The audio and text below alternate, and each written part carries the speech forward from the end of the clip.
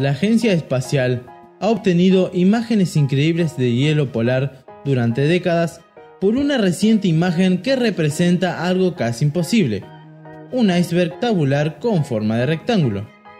La misión ICE de la NASA ha hallado como parte de la operación Icebright un iceberg tabular gigante de la plataforma de hielo Larsen C en la Antártida que parece haber sido recortado de forma rectangular con una sierra gigante.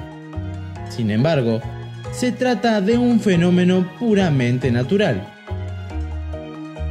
Al igual que los icebergs convencionales, solo el 10% de su tamaño sobresale del agua, aunque su masa subacuática parece tener una forma similar a la de la superficie.